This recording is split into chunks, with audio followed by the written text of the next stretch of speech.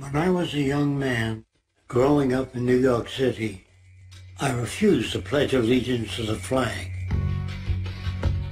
Of course, I was sent to the principal's office, and he asked me, why don't you want to pledge allegiance? Everybody does. I said, everybody once believed the earth was flat, but that doesn't make it so.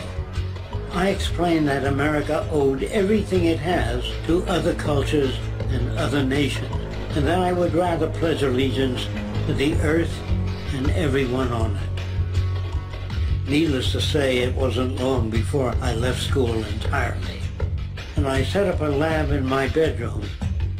There I began to learn about science and nature.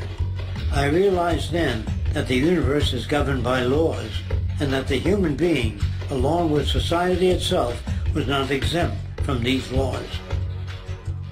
Then came the crash of 1929, which began what we now call the Great Depression. I found it difficult to understand why millions were out of work, homeless, starving, while all the factories were sitting there. The resources were unchanged. It was then that I realized that the rules of the economic game were inherently invalid. Shortly after came World War II, where various nations took turns systematically destroying each other. I later calculated that all the destruction and wasted resources spent on that war could have easily provided for every human need on the planet. Since that time, I have watched humanity set the stage for its own extinction. I have watched as the precious finite resources are perpetually wasted and destroyed in the name of profit and free markets.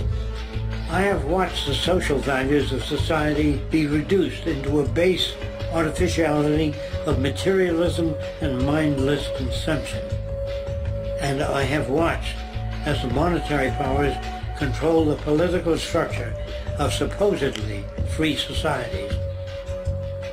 I'm 94 years old now, and I'm afraid my disposition is the same as it was 75 years ago. This shit's got to go.